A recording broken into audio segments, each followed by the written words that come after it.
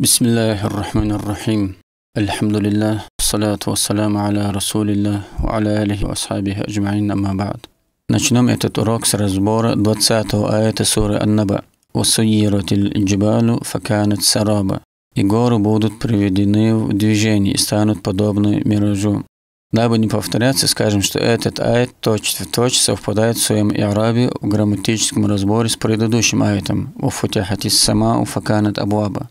Таким образом, грамматический разбор всех шести слов этого аята точно такой же, как разбор шести слов предыдущего аята, без всякой разницы. Так и араб харф вау здесь такой же, как разбор там. Глагола суират такой же, как у глагола футят. Имени аль-джибаль такой же, как у асама и так далее. Слово в слово. Более того, разбор предложений этих тоже схожи. Поэтому не будем терять время и перейдем к разбору следующего аята. А кто хочет, пусть обратится к разбору предыдущего аята. Следующий аят это «Инна джаханнама канат мирсада литтавина мааба». Поистине, гиенна является засадой для переступавших границы, для переступавших предел, местом возврата.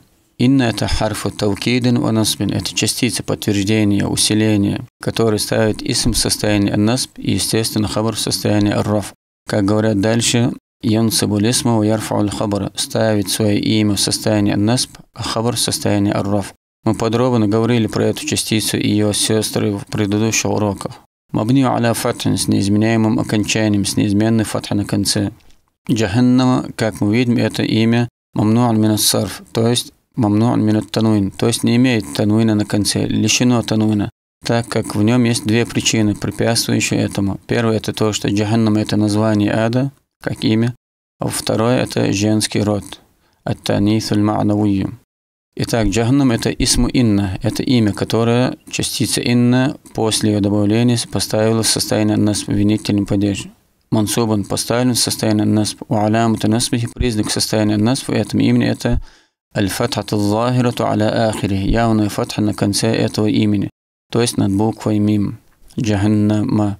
Канет это глагол. Мы подробно разобрали в предыдущем аяте, и все же скажем, Канет это фиалун мадин накусин, это недостаточный глагол, то есть нуждающийся в хабаре, глагол прошедшего времени. Ярфа алисму янсибуль хабара.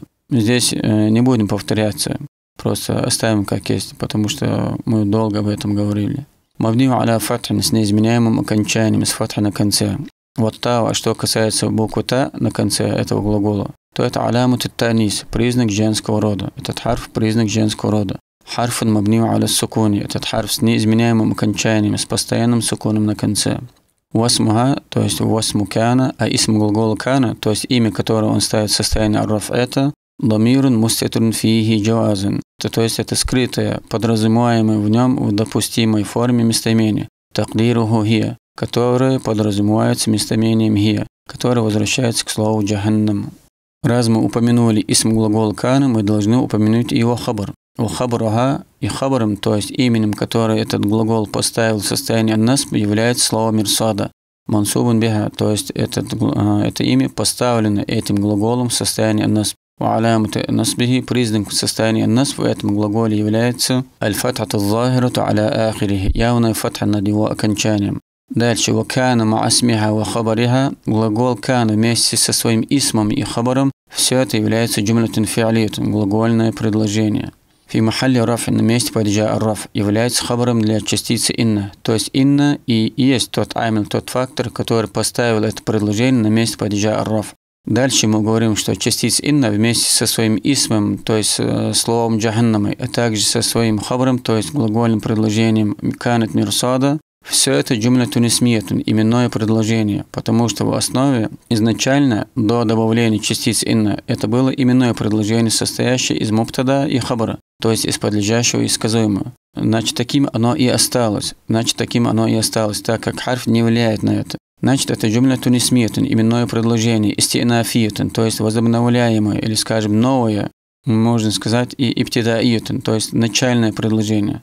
А такое предложение, как мы уже несколько раз упоминали, не имеет места в падеже, так как на него ничего не воздействует, он не имеет воздействующего фактора. Поэтому и говорим «Ла махалла лаха мин аль-и'раб».